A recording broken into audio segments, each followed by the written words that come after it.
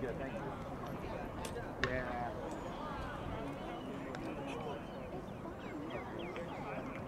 I didn't listen to that advice. I went through that part of the wild. No.